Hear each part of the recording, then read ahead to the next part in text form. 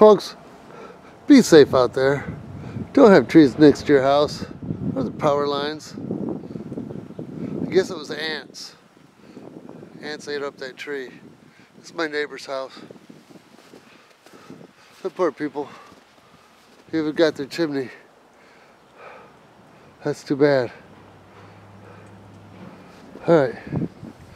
You take care.